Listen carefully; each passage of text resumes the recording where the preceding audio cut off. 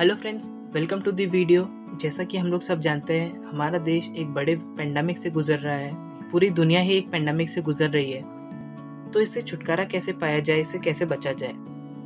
तो इससे बचने के लिए हम लोगों को क्या करना है? तो इसके लिए हम लोगों को मास्क तो पहनना ही है सोशल डिस्टेंसिंग मेंटेन करनी है हैंड हाइजीन को फॉलो करना है, और हो सके तो डबल मास्क पहनना है। इसके साथ साथ हम लोगों को अपना वैक्सीनेशन भी कराना है और इतना ही नहीं, हम लोगों को दूसरों को मदद भी करनी है, दूसरों को हेल्प भी करना है वैक्सीनेशन के लिए, उनके टीकाकरण के लिए।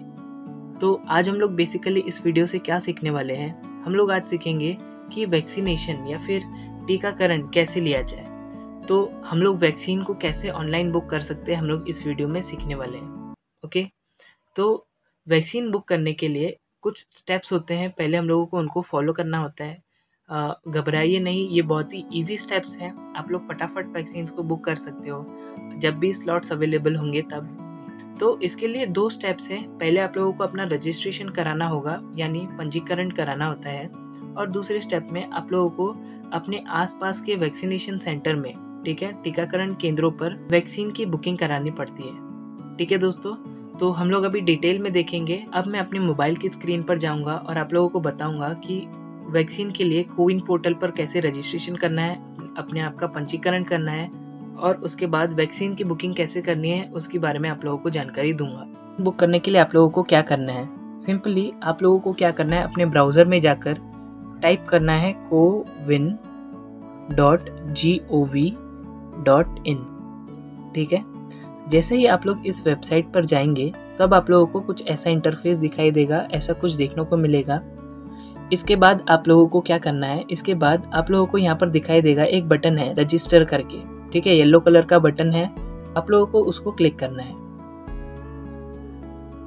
ठीक है, आप लोग जब उसको क्लिक करोगे तो कुछ ऐसा आप लोगों के सामने विंडो ओपन होगा, जिसमें आप लोगों को यहाँ पर अपना नंबर टाइप करना है। तो मैं यहाँ पर अपना नंबर टाइप करूँगा।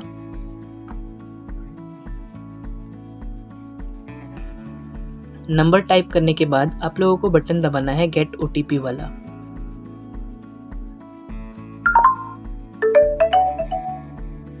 ओके तो मेरा ओटीपी आ चुका है।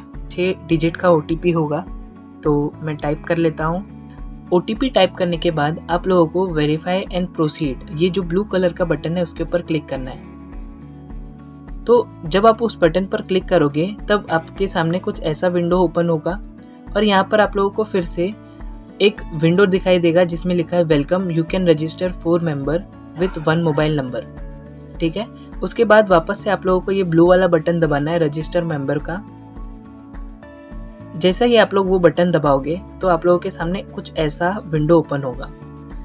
तो उसमें आप लोगों को क्या करना है? उसमें आप लोगों को फ़ोटो आईडी प्रूफ सिलेक्ट करना है। आप लोग कुछ भी सिलेक्ट कर सकते हो, Aadhaar card driving licence PAN card या फिर पासपोर्ट पेंशन बुक कुछ भी सिलेक्ट कर सकते हैं। ईजिएस्ट रहता है आप लोग आधार कार्ड को सिलेक्ट करें।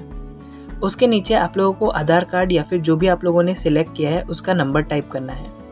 अब उसके बाद क्या करना है दोस्तों, आप लोगों को अपना नाम लिखना है और फिर अपना जेंडर सिलेक्ट करके आप लोगों का ईयर ऑफ़ बर्थ यहाँ पर टाइप करना है। अपनी इन्फॉर्मेशन फिल करने के बाद आप लोगों को रजिस्टर बटन पर क्लिक करना है। रजिस्टर करने के बाद आप लोगों को कुछ ऐसा विंडो दिखाई देगा तो मैं यहाँ पर ऊपर का पार्ट ब्लर कर दूँगा और आप लोगों को यहाँ पर नीचे दिख रहा है dose one appointment not scheduled red colour में दिख रहा होगा। उसके नीचे स्केड्यूल का बटन है। आप लोगों को उसको क्लिक करना है। जैसे ही आप लोग क्लिक करोगे, नीचे येलो कलर का स्केड्यूल नाव का बटन आ जाएगा। उस पर आप लोगों को क्लिक करना है।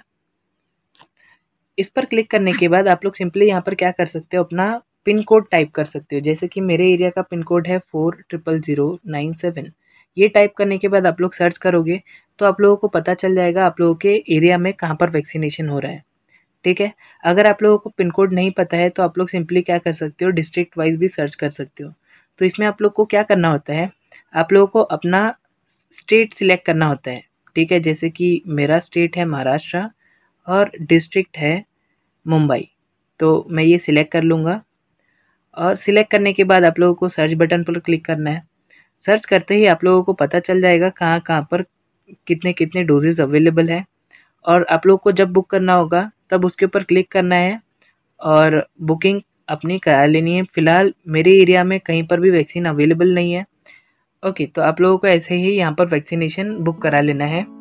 तो इस वीडियो में इतना ही। तो दोस्तों, ये वीडियो ऐसे लोगों के साथ शेयर करो जिन लोगों को वैक्सीनेशन बुक करना नहीं आता है। और आई होप आप लोगों को जब भी मौका आएगा, आप लोग वैक्सीनेशन ज़रूर कराओगे। Thank you friends thanks for watching this video